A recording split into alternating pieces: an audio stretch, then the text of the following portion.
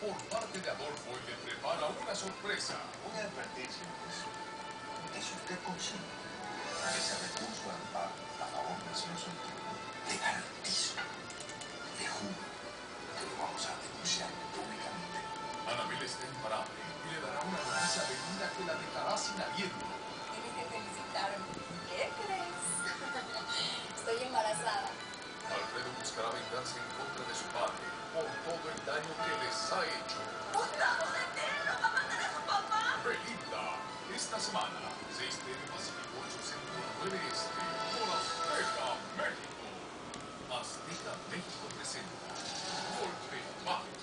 Esta semana, Laura guarda un as bajo la manga y el secreto que esconde podría arruinar a Rodrigo.